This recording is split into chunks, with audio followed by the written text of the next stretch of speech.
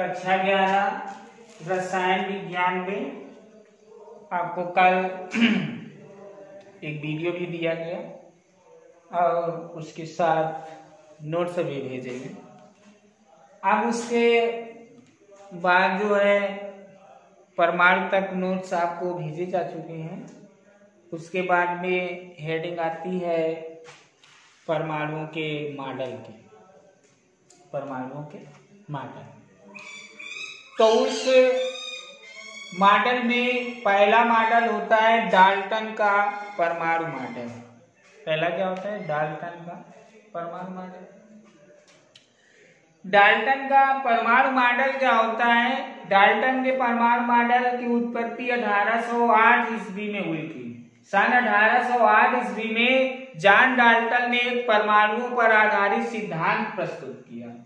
सन 1808 ईस्वी में John Dalton ने एक परमाणुओं पर आधारित सिद्धांत प्रस्तुत किया, जिसे डाल्टन का परमाणु मॉडल कहते हैं। जिसे डाल्टन का परमाणु मॉडल कहते हैं।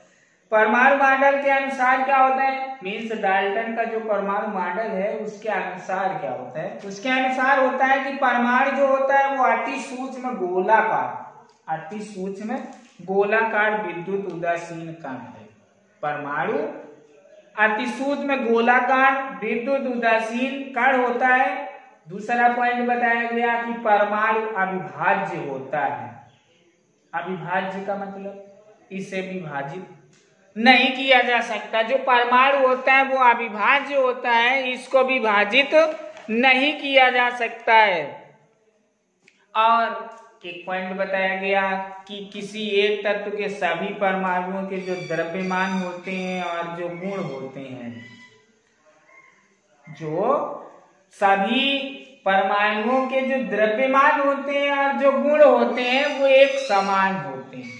वो एक समान होते हैं। ये डाल्टन के परमाणुवाद में बताया गया। लेकिन इसके बाद में हुआ क्या? डाल्टन के परमाणुवाद में बताया गया कि परमाणु अविभाज्य है, इसे विभाजित नहीं किया जा सकता है। लेकिन उसके बाद में आधुनिक परमाणुवाद आया। उसके बाद में आधुनिक परमाणुवाद आया। आधुनिक परमाणुवाद में ये बताया गया कि जो परमाणु होता है, वो अविभाज्य नहीं है, उसे विभाजित किया जा सकता है। उसे विभाजित किया जा सकता है। अविभाजित करने पर प्रोटॉन न्यूट्रॉन और इलेक्ट्रॉन कण प्राप्त होते हैं। अर्थात जो परमाणु होता है वो प्रोटॉन न्यूट्रॉन और इलेक्ट्रॉन से मिलकर बना होता है। लेकिन जो परमाणु का नाभिक होता है तो परमाणु के सबसे पहले तो पता होना चाहिए कि परमाणु का नाभिक क्या होता है। ये, ये।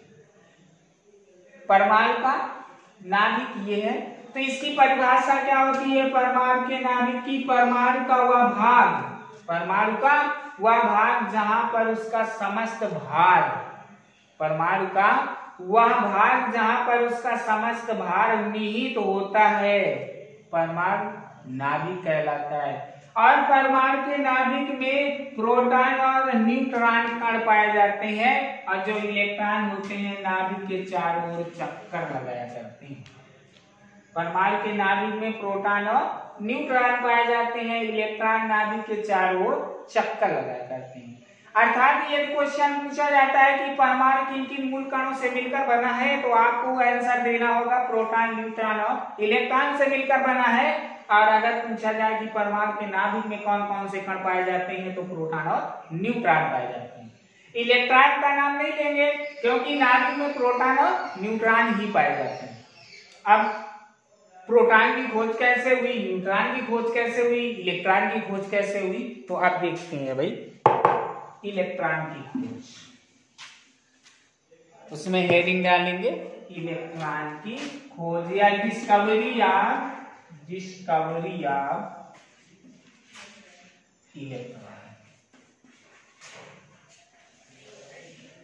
इलेक्ट्रॉन की खोज किस प्रकार से हुई? उसके लिए एक चित्र बनाया गया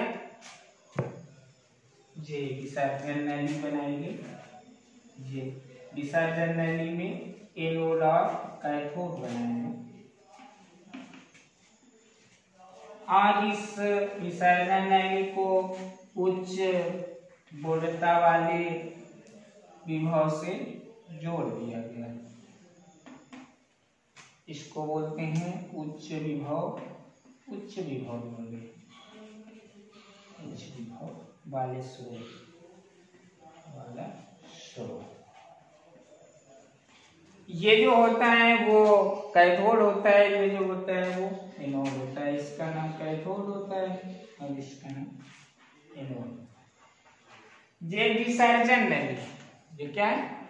विसर्जन नली। तो कैथोड है ये कैथोड से कुछ किरणें निकलती है। तो सबसे पहले जूलियस प्रकर एक वैज्ञानिक थे, जूलियस प्लकर ने गैसों का विद्युत विसर्जन किया।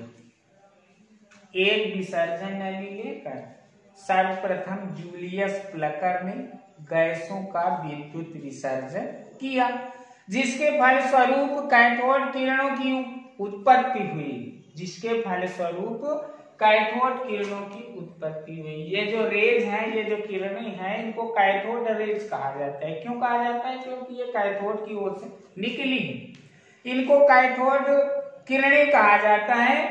जूलियस प्लकर ने विसर्जन नली लेकर उसमें गैस भर दी और एनोड कैथोड के माध्यम से उच्च विभव वाले, उच्च विभव वाले स्रोत से जिसका विभवांतर होता है एक हज़ार।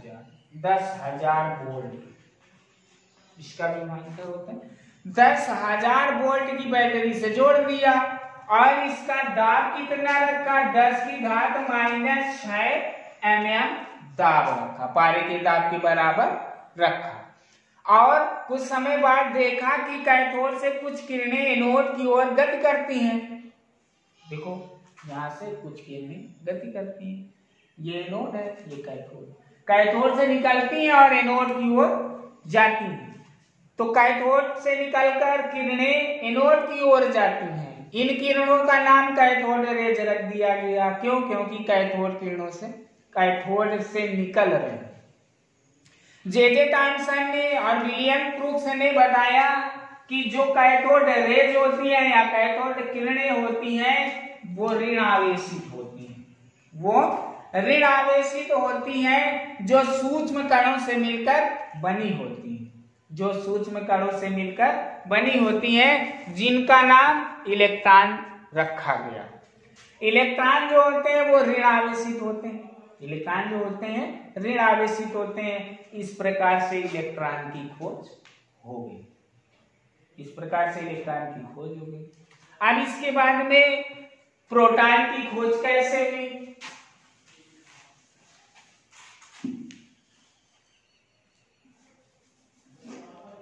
डिस्कवरी या प्रोटॉन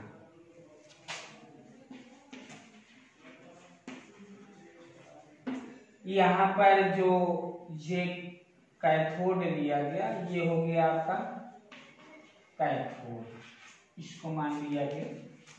इनो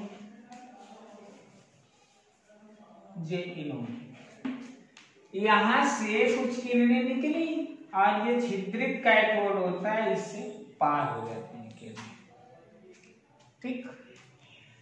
अब देखिए, बाकी वही उच्च विभव का स्रोत भी रहेगा और 10 की घात माइनस छ एम दाग भी रहेगा। गोल्ड स्टीन ने, वैज्ञानिक थे गोल्ड स्टीन गोल्ड स्टीन ने छिद्रित कैथोड लगाकर, ये भी साइडन नली में छिद्रित कैथोड लगा दिया। छिद्रित कैथोड लगाकर गैसों का विद्युत विसर्जन किया।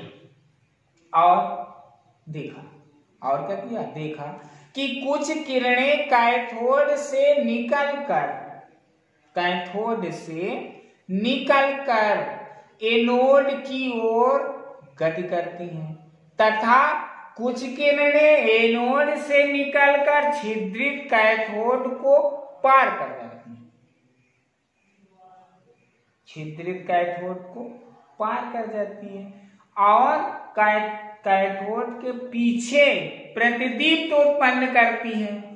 ठीक है? इन किरणों के गुणों का अध्ययन डब्ल्यू वाइन डब्ल्यू वाइन और जे जे टॉमसन ने किया और डब्लू वाइन ने इनका नाम धनावेशित होने के कारण धन किरणें रख दिया गया। ये किरणें कैसी थी? धन आवेशित थी, इसलिए इन किरणों को धन किरणें कह दिया गया। और जे जे टॉमसन ने इन किरणों का नाम कैनाल किरणें रख दिया। और सन 1919 में रदर फोर्ड ने बताया कि ये जो कैनाल किरणें हैं, ये धनावेशित कणों से मिलकर बनी है।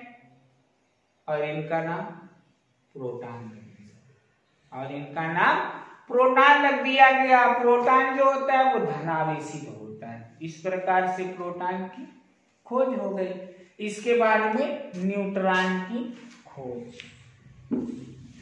अब न्यूट्रॉन की खोज कैसे हुई, वो देख लेते हैं।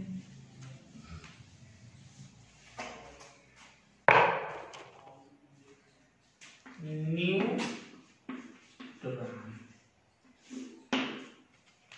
की खोज क्या हुई कैसे हुई? एक वैज्ञानिक थे James Chadwick.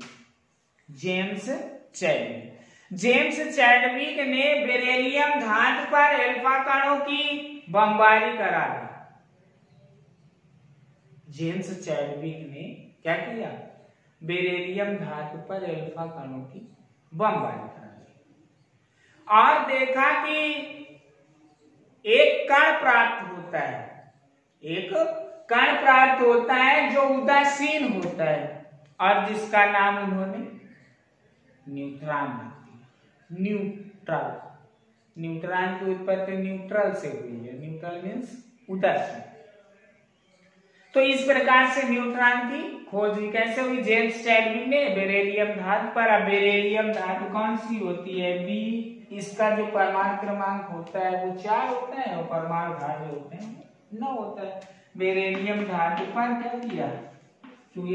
फोर इसको एल्फा कण बोलते हैं। एल्फा एल्फा कण की बमबारी करा दी तो साथ में कार्बन नाभिक बन गया। C six six C twelve और साथ में ज़ीरो एन वन एक ये कण निकला। इस कण का नाम ही क्या रख दिया गया? न्यूट्रॉन इस प्रकार से न्यूट्रॉन की खोज हो गई इस प्रकार से न्यूट्रॉन की खोज हो गई।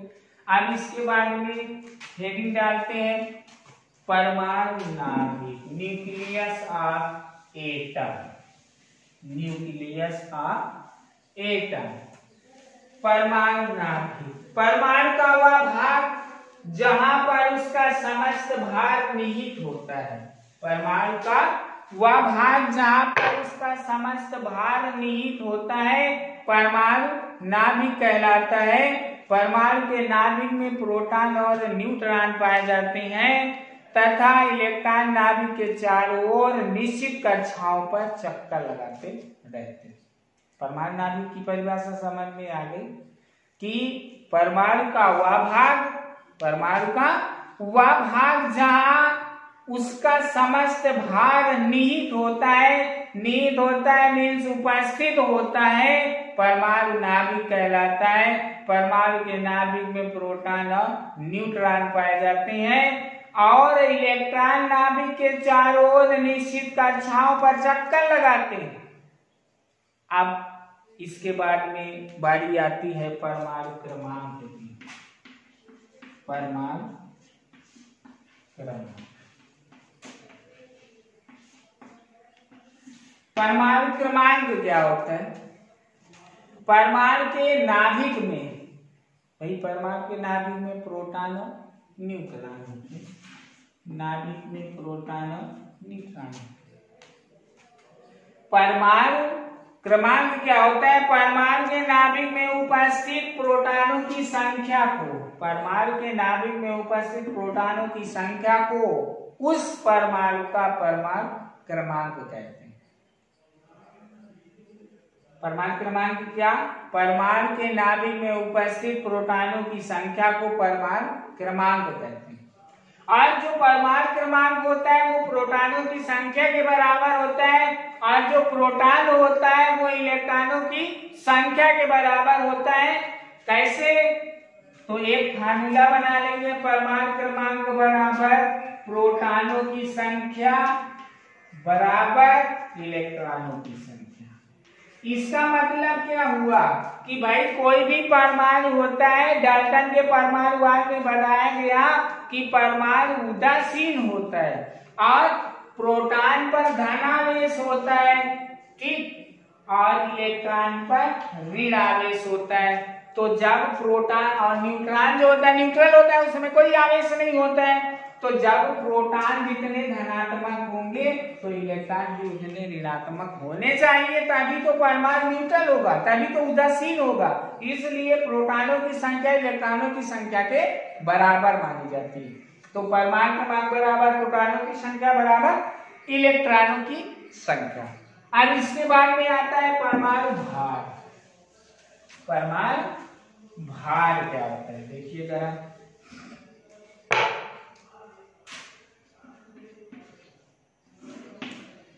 परमाणु भार क्या होता है। परमाणु के नाभिक में प्रोटॉन और न्यूट्रॉन होते हैं। इनको जोड़ दें, वही क्या होता है? परमाणु भार तो परमाणु के नाभिक में उपस्थित प्रोटॉनों और न्यूट्रॉनों की संख्या के योग को परमाणु भार कहते हैं। परमाणु के नाभिक में उपस्थित प्रोटॉनों और न्यूट्रॉनों की संख्या के योग को परमाणु भार कहते हैं। तो फार्मूला बन जाएगा परमाणु भार बराबर प्रोटॉनों की संख्या, धन, न्यूट्रॉनों की संख्या। प्रोटॉनों की संख्या, धन, न्यूट्रॉनों की संख्या। ठीक, अब जैसे एक एग्ज़ाम्पल बताते हैं कि कैसे परमाणु भाग ज्ञात करेंगे। मान लेते हैं कोई एक नाभिक है, कोई एक परमाणु का नाभिक है, उसमें सत्रह प्रोटॉन है। क्या है? सत्रह प्रोटॉन। और अठारह न्यूट्रॉन है। सत्रह प्रोटॉन है और अठारह न्यूट्रॉन है। और उसका भार पूछा जाए, परमाणु भार कितना होगा? तो प्रोटॉन और न्यूट्रॉन बराबर पैंतीस। मैंने उसका परमाणु भार पैंतीस हो गया। बात समझ में आ गई सभी को? अब इसी से क्या करेंगे? इसी से हम न्यूट्रॉन भी निकाल लेंगे। अगर प्रोटॉनों की संख्या दी गई है और परमाणु भार परमाणु भार दिया गया है, और पूछा जाए न्यूट्रॉन तो न्यूट्रॉन भी निकाल लेंगे, न्यूट्रॉन बराबर आ जाएगा, परमाणु भार में प्रोटॉन घटा देंगे तो न्यूट्रॉन आ जाएँगे। जैसे इसी में मान लेते हैं, इसमें मान लेते हैं न्यूट्रॉन है दिएगा एक नाभिक है? एक नाभिक है तो उसमें प्रोटॉनों की संख्या वो न्यूट्रॉनों की संख्या नहीं दी गई। जब न्यूट्रॉनों की संख्या नहीं दी गई तो परमाणु भार दिया गया। तो अब परमाणु भार यदि दिया गया है और प्रोटॉनों की संख्या दी गई है और उससे न्यूट्रॉनों की संख्या निकालना हो तो उसके लिए फार्मूला बना लेंगे हम।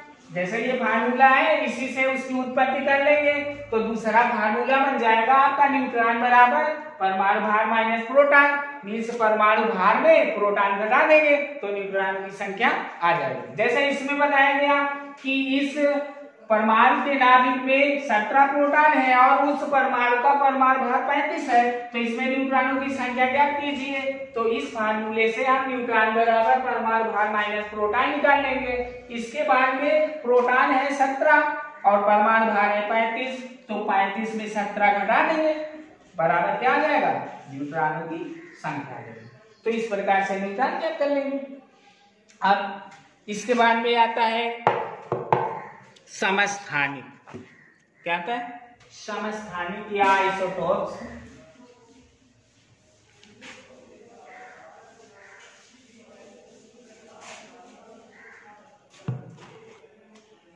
अंग्रेज़ी में कहते हैं आइसोटोप्स या हिंदी में कहते हैं समस्थानिक। समस्थानिक क्या होते हैं? देखिए जरा। एक ही तत्व के वे परमाणु। एक ही तत्व के वे परमाणु जिनके परमाणु क्रमांक समान होते हैं और परमाणु भार भिन्न भिन्न होते हैं, समस्थानिक कहलाते हैं। एक ही तत्व के वे परमाणु जिनके परमाणु क्रमांक समान होते हैं और परमाणु भार भिन्न भिन्न होते हैं, समस्थानिक कहलाते हैं। जैसे जैसे परिभाषा में बताया गया, एक ही तत्व होगा। जैसे हाइड्रोजन हाइड्रोजन हाइड्रोजन ये एक ही तत्व तो है, तीनों हाइड्रोजन तत्व है। एक ही तत्व के परमाणु, जिनके परमाणु क्रमांक एक समान है, तीनों के परमाणु क्रमांक एक एक एक होते हैं। तो तीनों के परमाणु क्रमांक एक समान हो गए, तथा परमाणु भार भिन्न भिन्न होते हैं। तो इसका परमाणु भार एक, इसका दो, इसका तीन। तो ये क्या हो गए? समस्थानिक हो गए। क्यों? क्योंकि परिभाषा में यही बताया गया कि एक ही तत्व होगा, उसके परमाणु क्रमांक समान होंगे और परमाणु भार भिन्न भिन्न होंगे। तो इसको वन एच वन को प्रोटियम बोलते हैं। प्रोटियम और वन एच टू को ड्यूटीरियम बोलते हैं, ड्यूटीरियम और वन एच थ्री को ट्राइटियम बोलते हैं। तो ये हो गए समस्थानिक या आइसोटॉप्स समस्थानिक की परिभाषा आपको बताई कि एक ही तत्व के वे परमाणु जिनके परमाणु क्रमांक एक समान होते हैं तथा परमाणु भार भिन्न भिन्न होते हैं, समस्थानिक कहलाते हैं। जैसे one S one one S two one S three one H one का नाम प्रोटियम होता है, वन एच टू का नाम ड्यूटीरियम होता है, वन एच थ्री का नाम ट्राइटियम होता है। अब इसके बाद में आता है आइसोबार या समभारी। आइसो बार या समभारी। अब समभारी के नाम से ही प्रतीत तो हो रहा है सम मने बराबर भार मने परमाणु भार। तो आइसोबार या समभारी। अब समभारी क्या होते हैं? समभारी की परिभाषा होती है भिन्न भिन्न तत्वों के वे परमाणु। भिन्न भिन्न तत्वों के वे परमाणु जिनके परमाणु क्रमांक भिन्न भिन्न होते हैं। भिन्न भिन्न तत्वों के वे परमाणु जिनके परमाणु क्रमांक भिन्न भिन्न होते हैं, परंतु परमाणु भार एक समान होते हैं। परंतु परमाणु भार एक समान होते हैं, समभारी कहलाते समस्थानिक में था क्या? कि परमाणु क्रमांक समान थे और समभारिक में क्या है? परमाणु भार समान है। समय समस्थानिक में परमाणु भार भिन्न भिन्न होते हैं और समभारिक में परमाणु भार समान होते हैं। ये अंतर है। तो आइसोबार की परिभाषा क्या हो गई? भिन्न भिन्न तत्वों के वे परमाणु जिनके परमाणु क्रमांक भिन्न भिन्न होते हैं तथा परमाणु भार एक समान होते हैं, समभारिक कहलाते हैं। जैसे जैसे अठारह ए आर चालीस, उन्नीस के चालीस और बीस सी ए ये आर्गन होता है, ये पोटेशियम होता है, ये कैल्शियम होता है, आर्गन का परमाणु क्रमांक अठारह होता है, परमाणु भार चालीस होता है, पोटेशियम का उन्नीस, परमाणु क्रमांक होता है, परमाणु भार चालीस होता है और कैल्शियम का बीस, परमाणु क्रमांक होता है, परमाणु भार चालीस होता है। तो इसमें देखिए कि परमाणु क्रमांक तीनों के भिन्न भिन्न है और परमाणु भार तीनों के एक समान है। आता ये क्या है? सम भारी ये क्या है? समभारी। तो समभारी की परिभाषा बता दी गई। भिन्न भिन्न तत्वों के वे परमाणु, जिनके परमाणु क्रमांक भिन्न भिन्न और परमाणु भार एक समान होते हैं समभारिक कहलाते हैं। अब इसके बाद में आता है इलेक्ट्रॉनिक विन्यास, जो आपको नेक्स्ट वीडियो में बताया जाएगा।